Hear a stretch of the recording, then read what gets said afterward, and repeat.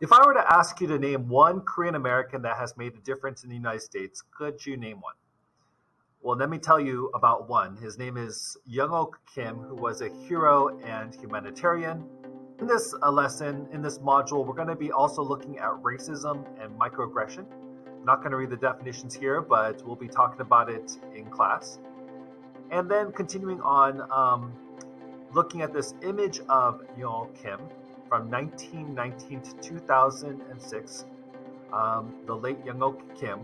What does this image tell you about this man?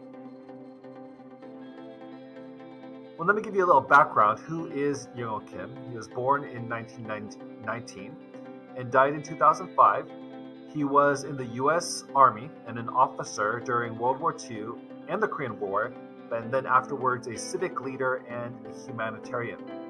He was a member of the very famous U.S. 100th Infantry Battalion and the 442nd Regimental Combat Team, and a combat leader in Italy and France during World War II.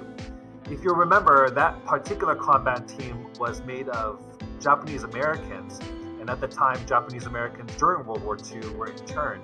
So that was the very famous uh, Japanese American Infantry Battalion uh, which uh, was made up of the 42nd, 42nd Regimental Combat Team, and I believe has the most medals of its size uh, in all across uh, the United States Army. He was a member of that battalion as a Korean American. Uh, he was famed to say once when they asked if he wanted to fight fight alongside Japanese Americans because in Korea at the time uh, there had been um, tension between Korea and Japan, understandably, because of the colonization that had happened there. And so at that time, Korea was still a colonized country. But as a Korean American, Colonel Young Kim really is able to uh, remind um, his officers about what it means to be an American.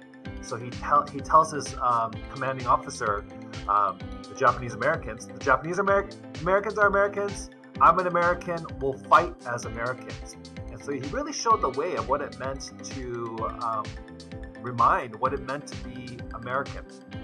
During his service, he was awarded 19 medals, included the Distinguished Service Cross, two Silver Stars, two Bronze Stars, three Purple Hearts, a Bronze Medal of Military Valor, a Legionnaire d'Honneur, a Croix de Guerre, and posthumously uh, the Korean Taeguk Cordon of the Order of Military uh, Merit. That is some of the highest medals that you will receive in many of these countries in France, Korea, uh, also many from the United States as well. After his military career, uh, Kim dedicated his life to public service and was an active founder and leader of several nonprofit organizations for underserved communities throughout Southern California. In May of 2016, members of the Congressional Asian Pacific American Caucus held a press conference uh, organized by the Council of Korean Americans to call on President Barack Obama to posthumously award him the nation's highest civilian honor, the Presidential Medal of Freedom. And here's an example of his legacy beyond uh, the war itself. In 1975, he helped found the Korean Youth and Cultural Center, now known as Koreatown Youth and Community Center, which helps over 11,000 immigrants from Asia and Latin America each year. Kim further served the Korean American community as a founding member of the Korean American Coalition from 18, 1985 to 2005. In 1986, Kim co founded the Korean Health Education Information and Referral Center to provide new uninformed immigrants with healthcare information and services that they are entitled to receive by law in America.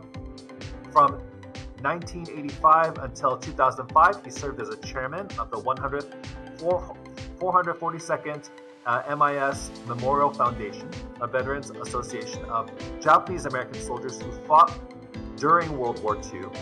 Under his leadership, the organization worked directly with teachers and provided them with lesson plans to tell students the story of these American units and cultivate a sentiment of national pride and respect in schools throughout the United States. Uh, Kim also co founded other organizations that continue to educate the public, including the Go for Broke Monument, the Go for Broke Education Foundation, and the Japanese American National Museum. In 2008, a newly opened middle school in Los Angeles, 4th District, was named Young Oak Kim Academy. And then finally in 2010, the Young Oak Kim Center for Korean American Studies opened at the United States of California, Riverside.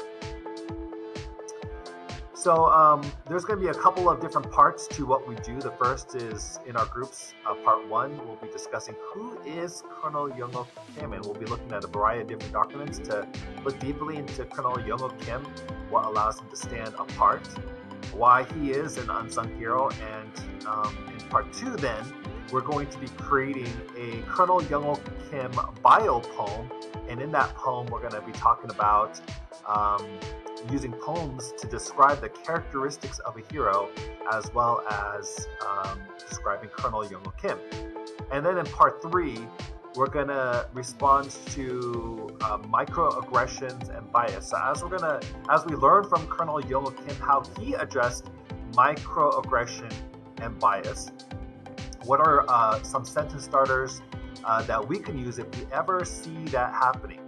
So we might be um, restating or rephrasing or asking for more information about, and pretty much knowing how to handle in a good way when facing microaggression and bias as well. Uh, so just as Colonel Young Kim must have experienced some of this as well um, during his uh, day and season, uh, there continues to be uh, bias and microaggressions now. And so, what are ways that we can, in a healthy way, respond to that microaggression uh, part three is going to include that portion. Looking forward to having you grow and learn about one of the most famous Korean Americans that have impacted uh, the United States. And in addition to that, some lessons learned about what it means to be a hero and also how to address microaggression and bias.